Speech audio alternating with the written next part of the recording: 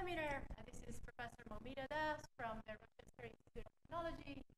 Uh, Mo, uh, she did her PhD in the Institute, Indian Institute of Science and later postdoc at Harvard, UCLA, and three, like that, University in Amsterdam.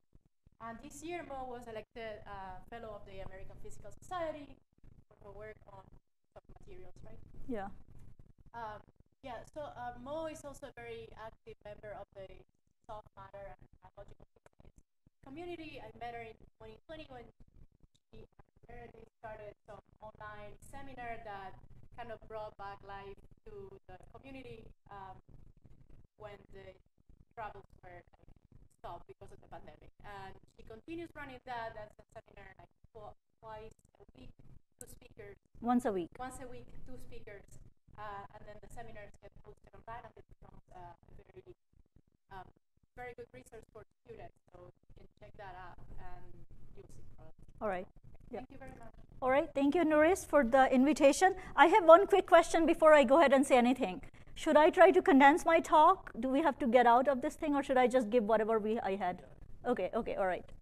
All right. So it's a pleasure to be here. I was actually last time and first time I was in Boulder was two decades ago for a Boulder summer school in condensed matter and materials physics, my first year of grad school. And now I'm here 20 years later. It's a pleasure to be here to give this physics colloquium. And in case, you know, if this is too short for this, I'm going to be back as a lecturer for this year's Boulder Summer School, so we'll have even more chance to chat, right? So my research is mainly in, in you know, uh, uh, concerns uh, network-like soft materials in biological systems and also now in synthetic biology. And what are sort of the physics rules or laws or concepts that make these materials robust and resilient, you know, so that's the kind of work I do. And I'm going to tell you about some uh, ongoing work in my group on, on these kinds of questions today, right? So I will mainly focus on sort of biopolymer networks in our cells and tissues, and then a new work on, on circadian colloids, and you'll see what that is. And I'm going to skip this. This is, I like to show my students and collaborators who were involved uh, before the talk, just in case I don't get a chance to talk about them later, but you know, hopefully I will get a chance to talk about them later. So the names are blue. In blue are postdocs and students who were involved in the work I'm going to talk about, and these are the experimental. So I'm a theorist and a modeler, but all of the work I do is in collaboration, is in close collaboration with experimental colleagues, and these are the experimental colleagues uh, who are sort of involved in the kinds of things I'm going to talk about today. And okay, so you know, living materials or the materials, if you think of living systems as materials, they are very active, robust, resilient materials. This is probably sort of the most famous biophysics movie that there is. You know, it's got millions of views on YouTube. So basically, we have a white blood cell which is chasing a bacteria relentlessly and it's pushing the red blood cells out of its way as it does this, right? And this white blood cell, not only is, is it relentless, right? It also can sort of change its shape and remodel, right? So that it can squeeze through narrow regions. It can also sort of generate forces so to sort of push the uh, red blood cells out of its way as it goes through. So then you can ask, why is this cell at the same time squishy and able to remodel, but at the same time it maintains its physical integrity, right? And it's quite robust. And then this is my other favorite example at a completely different level of a soft living material that can take the shape of things that it gets in, and again is very robust and, and resilient, right? So, so then you can ask, you know, why are sort of how do living systems create materials that are you know active? So basically they are generating forces, right? And they are, are, robust and resilient at the same time. Can we make sort of artificial materials, artificial soft materials that recapitulate some of these properties? Can we sort of activate these kinds of artificial uh, materials using biological properties, uh, uh, biological processes? Can we sort of uh, endow them with tunability, programmability, and so on? And then also, how do we sort of map uh, micro scale sort of structures to meso and macro scale uh, functions and properties, right? And, and, you know, and you know, many of us think the best way to sort of understand something is to sort of you know build it from the bottom up. So a lot of the stuff I do involves you know sort of bottom up approaches and So then you can ask, well, how can we build up something, right, bottom up, uh, you know, that will have these kinds of, you know, robustness, resilience, Uh, uh, uh, these kinds of properties of, of, you know, living material. So what will a synthetic biology system look like? Uh, you might think, you might think this is what it looks like. I guess I'm dating myself. Many of you were probably born after this. Does everybody recognize what this is? Okay. So one of the cells that actually comes close to this is a cell system that one of my collaborator works with. And this is sort of a terminator sort of thing in a biological system. So this is the single cell ciliate called Stentor caeruleus.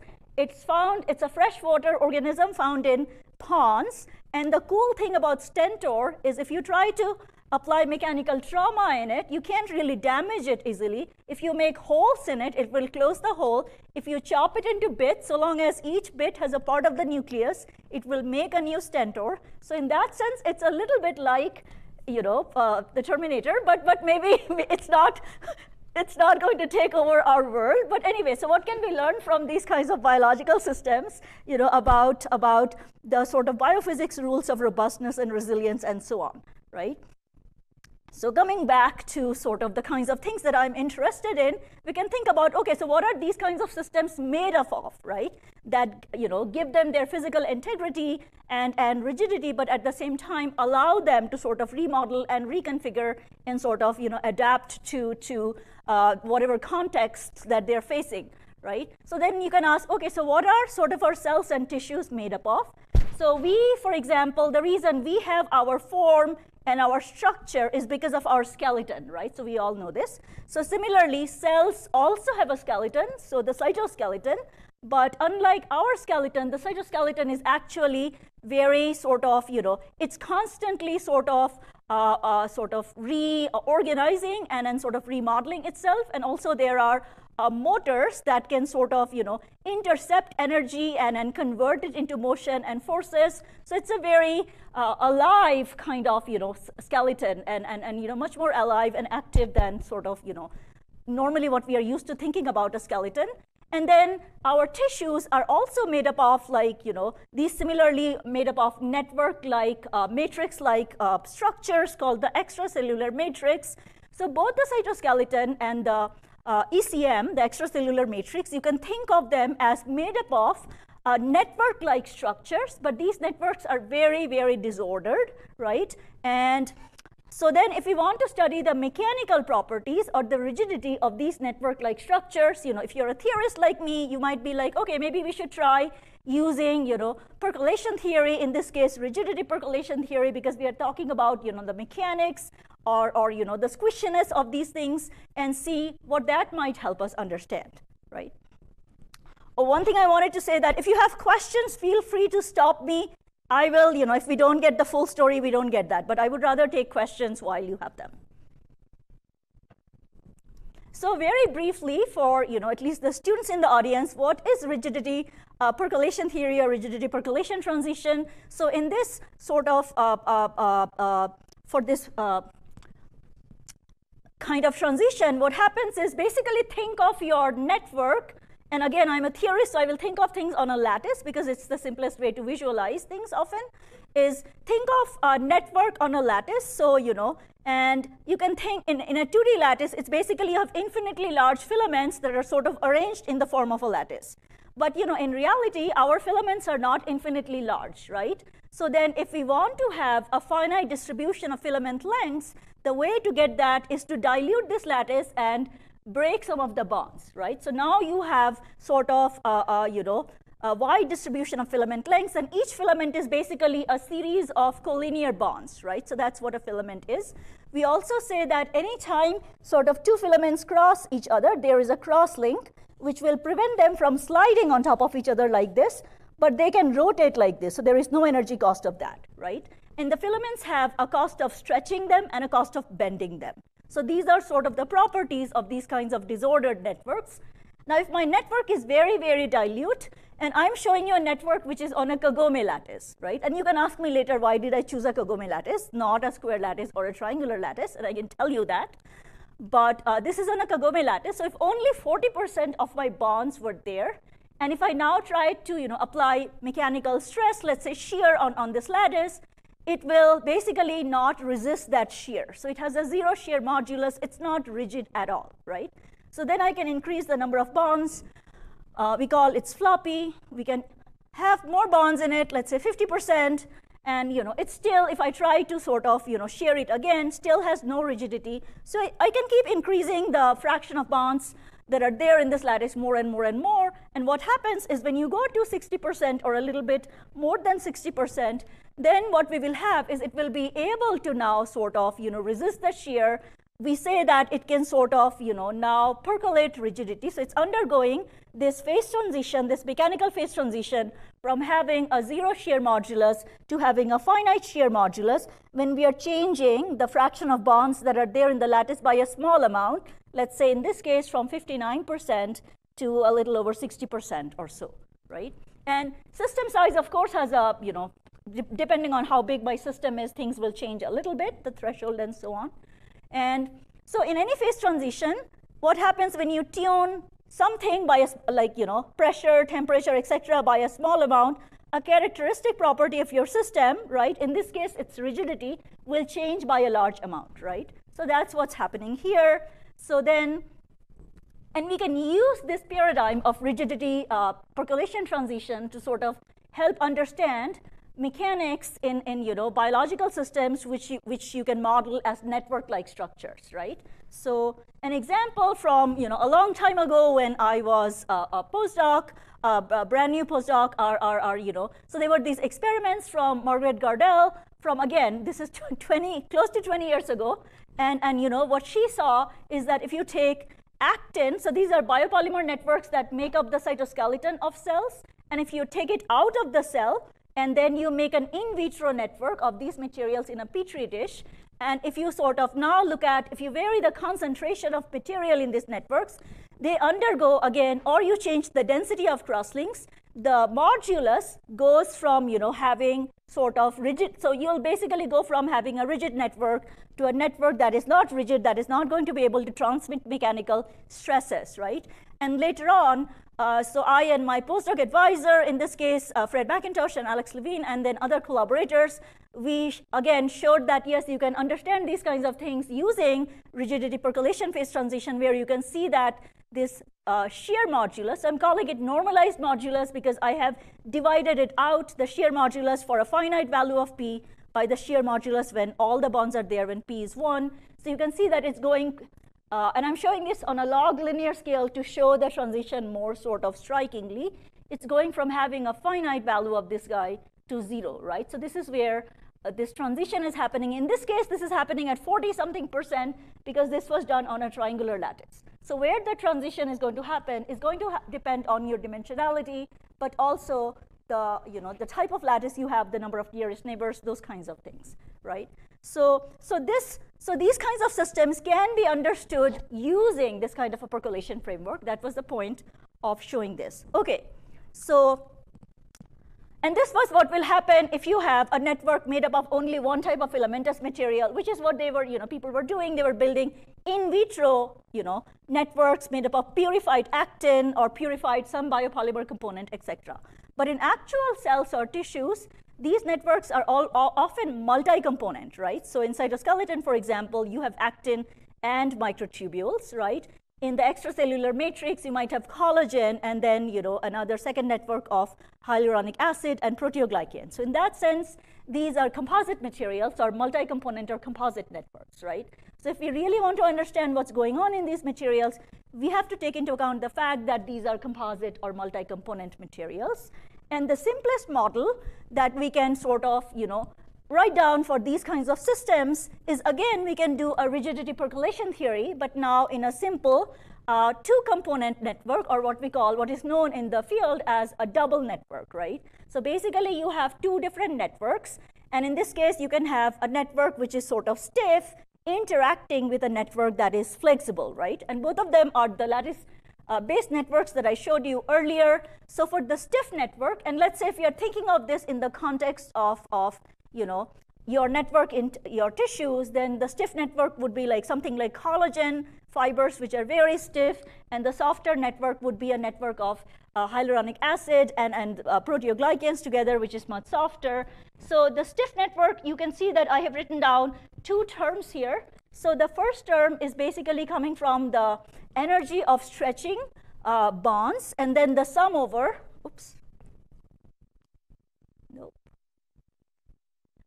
Okay, uh, yeah, so and I'm summing over. So again, you know, if you want to think of stretching energy for the, the whole network, you're going to sum over all the bonds that are part of the network, right? In the P here basically tells you whether a bond is there or not, right? For it to, you know, uh, basically contribute to the deformation energy, this thing has to be there, right? So this is the stretching sort of contribution. And this is basically the rigidity associated with stretching. And then this is a part which comes from the bending. And bending is basically is a three-body term. So anytime you have a pair of bonds, you know, which were initially making a 180 degree angle with each other, and now they have sort of changed this angle, so there will be a bending rigidity for that. So we are only thinking about filament bending, uh, filament bending, right, for, you know, and not bending between crossing fibers, etc. So this is for the stiff network. For the flexible network, there is no uh, you know, energy cost of bending the fibers. There is some energy cost of stretching the fibers, but this energy cost is much, much smaller. And then the two networks sort of interact with each other, uh, you know, through weak Hookean springs, right? So this is sort of the model. So the way we calculate the shear modulus is you can apply shear strain at the boundaries, right? And then you can sort of minimize the energy if you're doing things computationally. You can minimize the energy and you can calculate, you can find out what is the minimum energy configuration, right?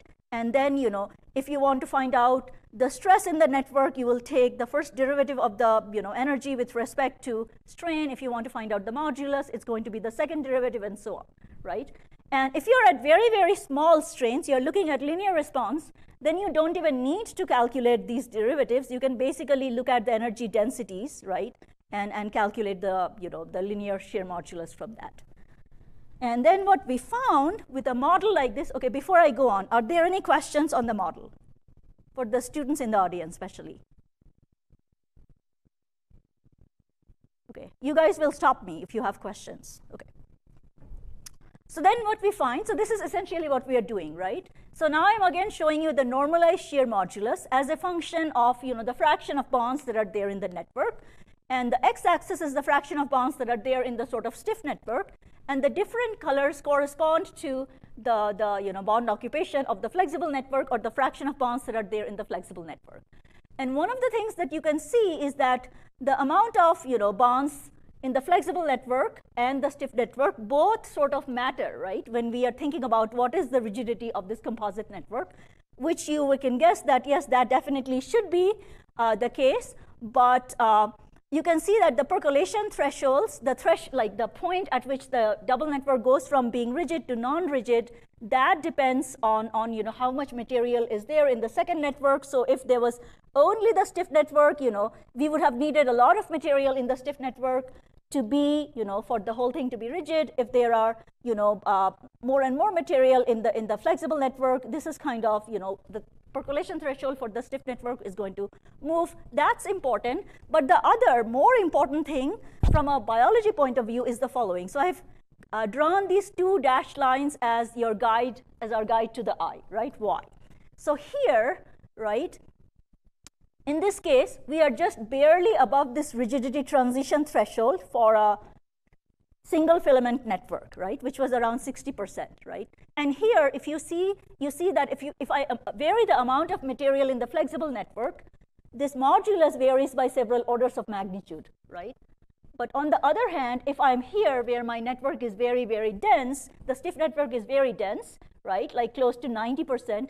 Now if I vary P2, you can see that there is very little sort of change in the modulus. And one of the ways this relates to our tissues, and we will, I will talk about this a little bit later, is let's say if you think of our cartilage tissue, and you know, so this is a three-dimensional tissue, right? And, and, you know, and the density of fibers in this tissue is different if you're closer to the bone versus if you're closer to the joint.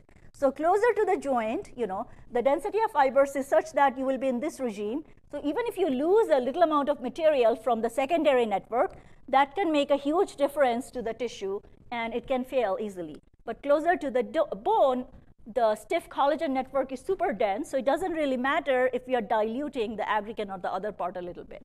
So, so these kinds of things matter. Where you are in this phase space can be really, really important in, in, in biological systems.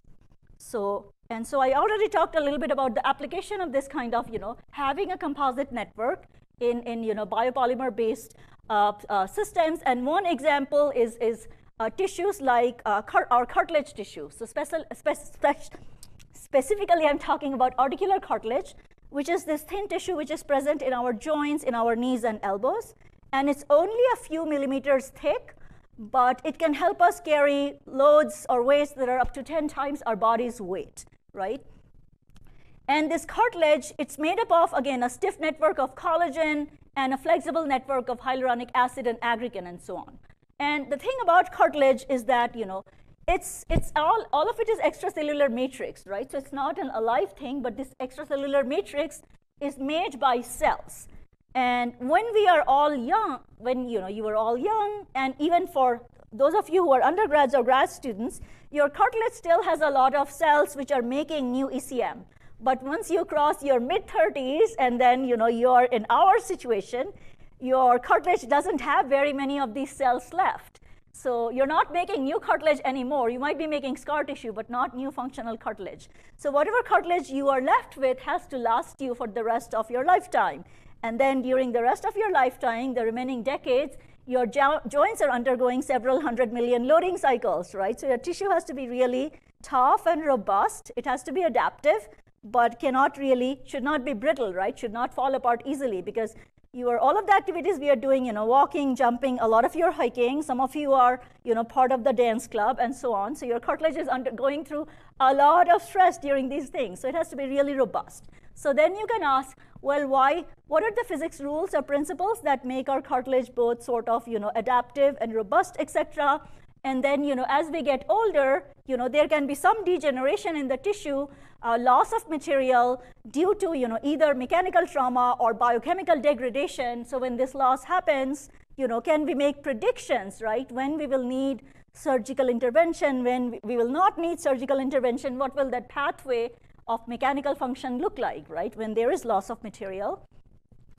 And it's a little bit difficult. It's not an easy problem to sort of, you know, uh, address a priori because again, like I was telling you, this tissue is three-dimensional and it's not homogeneous throughout the depth of the tissue, right? Like some parts of the tissue, the networks are very dense. Some parts of the tissue, they are quite sparse. So there is that. And, and also, you know, the, so there is this, the mechanics itself is also quite depth dependent. And then, you know, the properties are also quite nonlinear, right? And like I was telling you earlier in the previous uh, figure I showed you, depending on where you're losing material, if you lose material here, nothing much will happen. But if you lose material here, you can see that the shear modulus can change by several orders of magnitude and might get you close to failure, etc. So, so we wanted to have a framework to understand, you know, sort of the biophysics or the physics of, of you know, why cartilage is robust and, and tough. And so how do we build this network? And so this work is in collaboration with uh, Itai Cohen, uh, at Cornell University, he's in, he does physics experiments, and Larry Bonassar, who is in tissue engineering. And so the way we start is we basically, let's say, take healthy cartilage tissue, right, and measure the shear modulus of this tissue as a function of its constituents. In this case, the constituents are how much collagen does it have, collagen concentration, and how much aggrecan, which is the flexible, you know, this other uh, net network, how much aggrecan does it have? It's the major component of that and we can measure the shear modulus. So this gives us some data point. Then we can go to a different part of the parameter space and we can use an enzyme to digest away all of the second network, right? And then measure sort of, again, the shear modulus. So now you have a tissue with only collagen and you're measuring the shear modulus. Then we want to sort of come up with a theory or model that can sort of explain these two data sets and then we can sort of extrapolate this theory or model to generate the whole surface so that if my damage was following a different pathway, I should be able to predict uh, what's happening, right? So we use the model that I just showed you, but you know, with some other tweaks. uh, uh, to sort of generate this surface, right? So, so that we can explain this, you know. So the way we do it, and there are some unknown, you know, phenomenological parameters. So what we do is we first uh, try to fit our model to the data for the healthy cartilage. Then we make sure that the same model, the same parameters will also fit the data for the cartilage where we have digested away all of the second network and only collagen is there, right? And then we sort of extrapolate the surface to generate the whole theory prediction. So now, you know, we have these different parts of the phase space when we have only like, you know, very sparse collagen, there is no aggrecan, a dense network of collagen, there is aggrecan, and uh, there is also no aggrecan. And then, you know, we have dense network of collagen and aggrecan, and sparse network of collagen and aggrecan. So one thing I didn't tell you so far, you might be like, well, seems like this network is 2D, but the tissue is 3D. How is she doing this? How are they doing this? So because the network is, is uh, sort of, you know, the density of fibers is the concentration of, of, you know, the fibers is changing as a function of depth. Instead of modeling a, prop, a full-on three-dimensional network, what we did is like in your experiments, you will have Z stacks, which are 2D slices. We think of our network as a series of 2D slices. And then each slice has a, a you know, measured concentration of how much collagen is there for this 2D slice, how much aggregate concentration is there for this 2D slice. So then we have a series of 2D networks at, at different depths of the tissue. So that's what we are doing. Now there is a, a, you know, we are making assumptions, right? We are, this way, we are sort of neglecting any kind of interaction, right, in this direction. So that is, a, you know, uh, assumption that we have made, but it seems and right now we are doing a full-on 3D model, but at least this was sort of, in order to get an initial understanding of what's going on this, uh, in this tissue, it seemed like thinking of the three-dimensional system as a series of 2D slices with different concentrations of aggregate and, and you know, uh, collagen was okay, right? So So then, you know, what we have now is we have a model that's based on composition, you know, so we can predict the shear modulus as a function of aggregate and collagen. And, you know, I showed you like, you know, so not only will this model, you know, sort of agree, like explain what's going on for the data points here, for other, if you had disease pathways that went in this direction or this direction, we still have some predictions from this. And the good thing is that, you know, so from sort of MRI measurements, etc., from damaged tissue, we will know what is the composition like, how much collagen is there, how much aggrecan is there, right, in a patient's tissue. And then we might be able to make some predictions about, you know, depending on the concentration of these various things, what would, what kind of mechanical, uh, you know, properties would we predict for these kinds of, of tissues. And although I did this for, you know, cartilage, which has a lot of collagen, you know, it's a very collagen-rich tissue, there are other collagenous tissues where maybe it's a little bit like, you know, there is not as much collagen. For example, Nuris and I were talking about the vitreous gel in our eyes, which is another tissue which has collagen and hyaluronic acid, etc. But the composition is very different. So that would have, again, you know, the, it will not be this phase diagram because the fitting parameters and the constants and other things that came in are different, right? And the type of collagen is different. But this kind of framework will still be useful for other kinds of, you know, collagenous soft tissues, right? And we can also take these kinds of, you know, uh, double network or multi-component network models and add motors to them and contractility and sort of, you know, uh, predict the uh, mechanical response of actomyosin networks with motors and so on, which is also something we have done. I'm not going to get into that, but if you have questions, uh, we can talk about this later. But before we go any further, I will see if you guys have any questions on this part.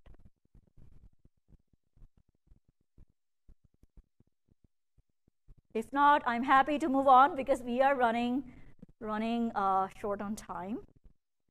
So then I was talking about this robustness and resilience part earlier, right? And I was talking about, you know, stentor, which is really mechanically robust and cannot be damaged easily.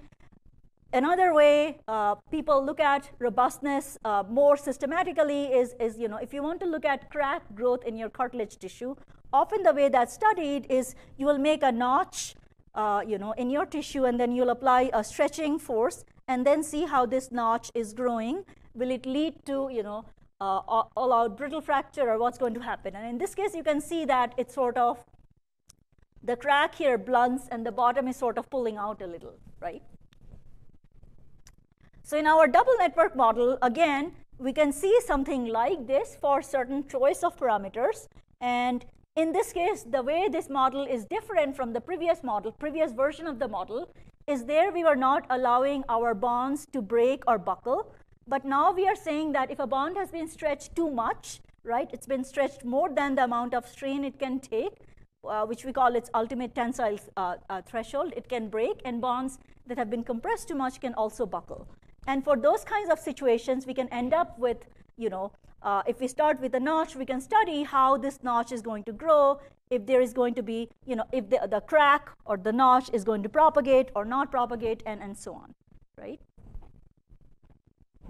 So, so I'm showing you two situations here. Once again, when my stiff network is just like, remember these two dashed lines I was showing you earlier. In one case, we were just above the rigidity threshold. And the other case, we were very, very dense, far above the rigidity threshold.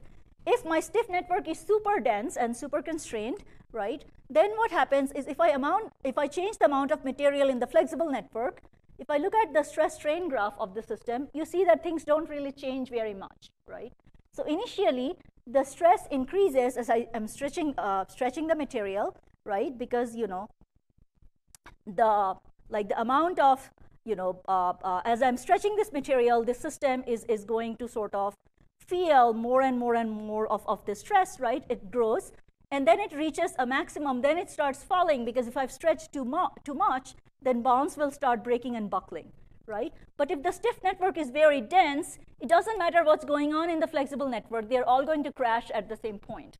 However if the stiff network is just above its percolation threshold it's you know not super dense it's de- dense enough so that it can sort of uh, transmit mechanical forces then the amount of material in the flexible network really matters right and you can see that the strains at which things start failing is different etc so i can also just plot the peak stress uh, you know, and, and uh, the strain at maximum stress. So the main thing is the strain at maximum stress. You can see that if the network, network was very stiff, which is, you know, uh, P1 equals 80%, so 80% of the bonds are there. It's very rigid and very well connected.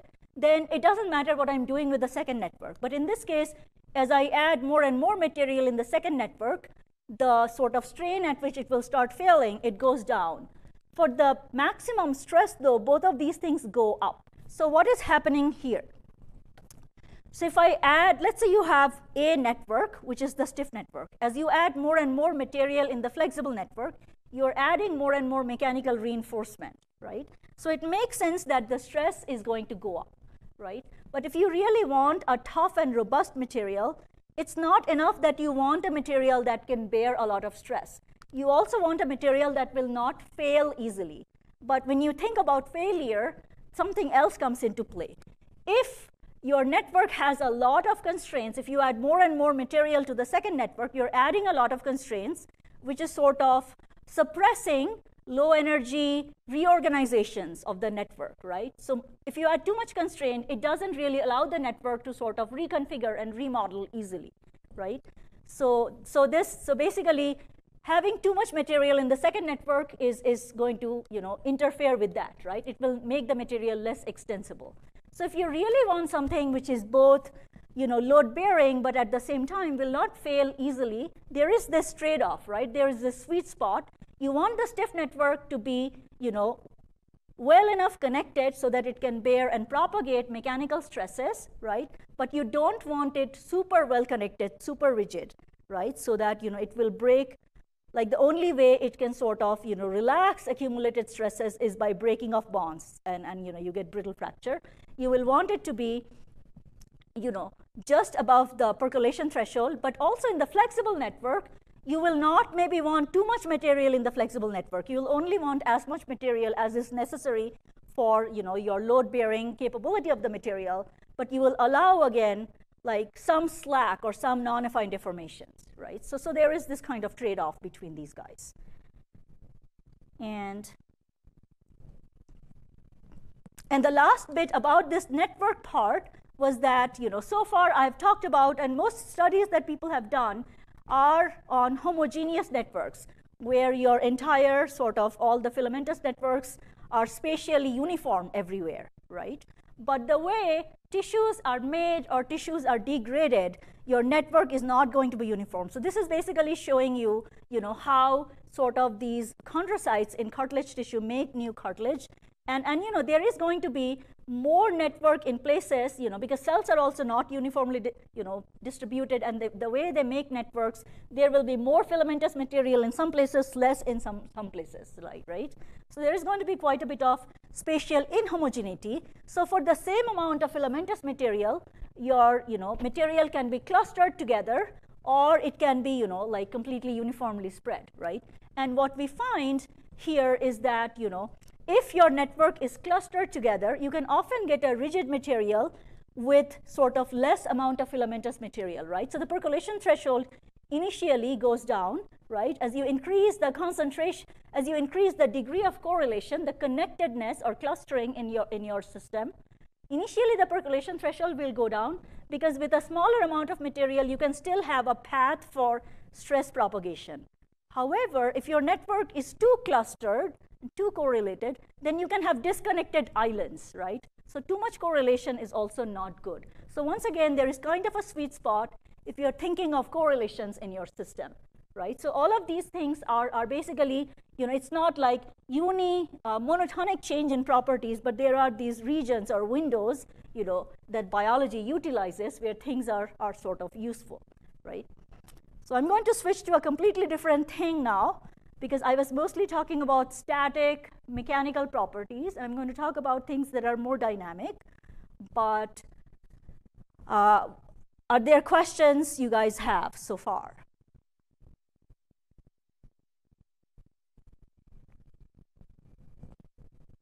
Wait one minute. Yes.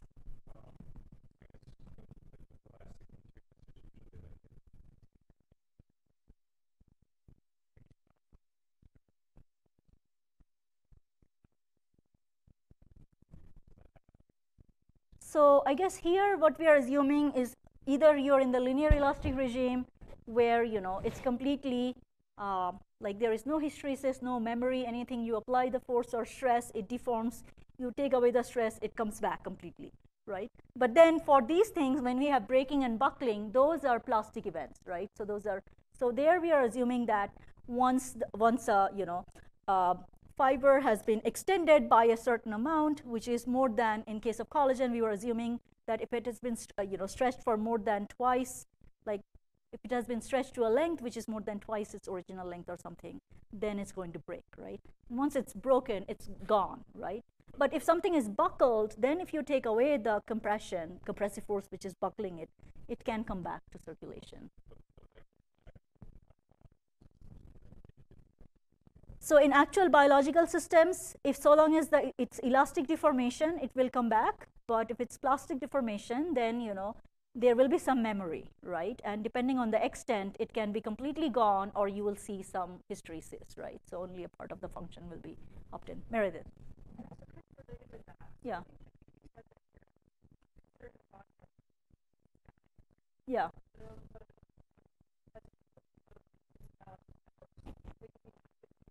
Right, right. So in cartilage, not so much because when, so for adult cartilage, like those of us who are above 35, our cartilage has very few cells left. So there is not a lot of remodeling by the cells going on in our cartilage. But for your undergrads or early grad students, it's probably important.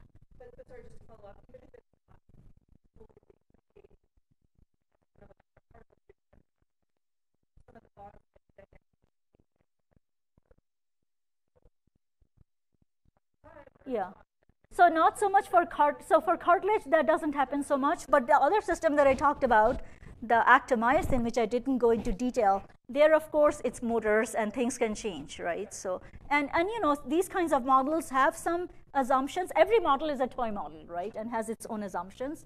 So there are some assumptions we are making in this case, but these things will be more important when you have things like motors and activity, or sometimes you're shining light and you're shining light on one part of the network and activating motors in one part of the network.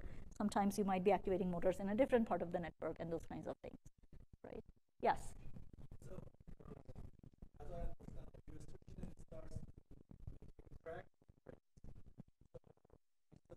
So, we are already starting with a notch, but you can also do a simulation where you don't start with a notch and then you see how things will break, right? So here what we were doing is we were starting with a notch to mimic the kind of experiments where people do notch tests.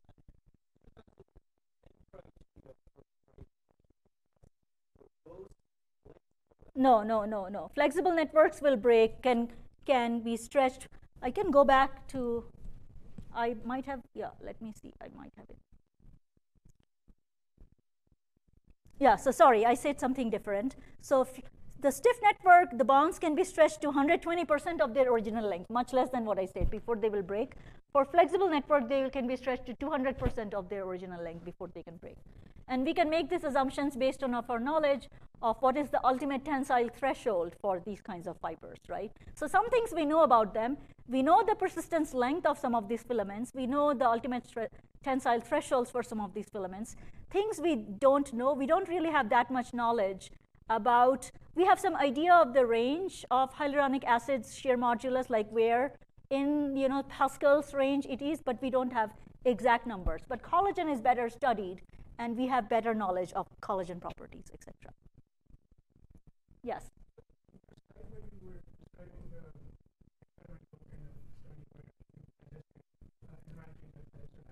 Yeah.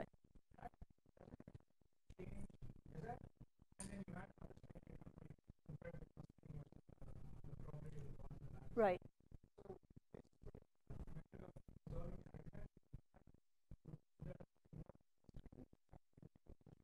So in this model, we were not assuming how it's changing the clustering. We are assuming that this is not doing anything to the clustering, right? So, so the thing is, you can, so we are saying that it's digesting. We are only confining ourselves to the part of the system, to the part of the tissue. I'm not showing you the experimental data. So up to about, uh, so uh, up to a part of the tissue, it will digest away all of the aggrecan. And then deeper down, it will only digest part of the aggrecan. We are concentrating on the part of the tissue where it has digested away all of the aggrecan. But if we had gone to a little bit deeper, where you know it was only digesting part of the aggrecan, then the kind of clustering stuff you're talking about would be important. But we are focusing on the part of the tissue where no all aggrecan is gone, and and you know only collagen is left, right? I mean, the enzyme is only, you know, you're putting enzyme from the top of the tissue, right? So it will go down up to a part of the tissue, it's digesting away all of the aggrecan. Then after that, it has only digested away some of the aggrecan, but not all, right? Because that's how is the enzyme is getting taken up by the, by the materials, right? All right, so then the second part, notice how much time I have, do I have?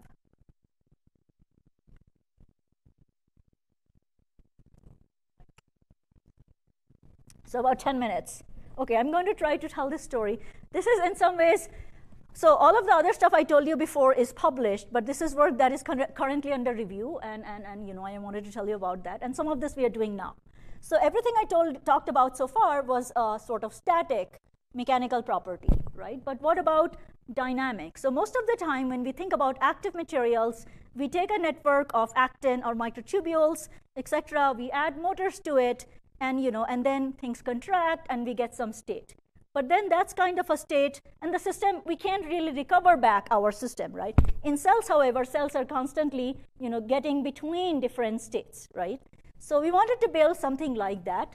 And so the picture in our head was basically, we want to combine these kinds of polymers from, you know, cells, from the cytoskeleton of cells like actin and microtubule with uh, circadian proteins from cyanobacteria. So cyanobacteria have the circadian proteins called KaiABC, and these proteins have a 24-hour cycle. So on a 24-hour cycle, you know, at this peak, they will form a, you know, a complex, a hexameric uh, complex like this, and then, you know, in the trough region, they're all sort of separated, right? They're not connected to each other.